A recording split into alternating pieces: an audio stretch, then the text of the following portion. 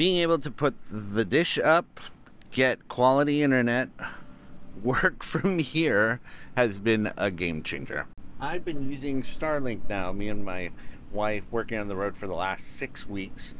Um, it has been amazing. It has changed our lives in this RV, uh, and it, it has been truly one of the best things that we've brought on our trip.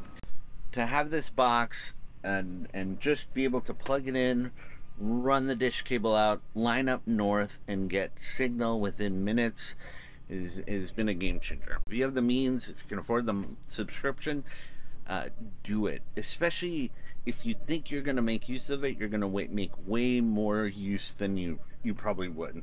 We've been in a lot of areas now touring the upper Midwest with uh, uh, zero cell service, and this has been a game changer to just be able to put it out, put the dish out, and get it ready. We actually keep the dish uh, and everything right at the back, easy accessible. And there's been numerous times where we pull off the road and set it up so my wife or I can do a Zoom call, get some work done, and do it in cool places because not only can we set it up, we can pull over and park. We were in uh, traveling through Michigan, we were along Lake uh, Superior, and we stopped at a local city park, set up the dish, and within five minutes, my wife was able to get some work done while me and the boys played in the water. We're also in Wisconsin Dells, which is the water park capital of the world. My wife had meetings that day, and uh, we wanted to have fun, so we set her up with in the parking lot with the dish, and she was able to to work from the comfort of the RV while we enjoy um, water park. Absolutely fantastic. The only issues we've had are if there are a lot of trees, you can still get signal because this, the dish will own, essentially own, aim straight up to try to get the satellites. It may flap in and out, but if you're using normal internet stuff, you won't really notice uh, that unless you're doing a Zoom call. If you're doing a Zoom call, all of a sudden you'll see the freezes and uh, stutters and stops.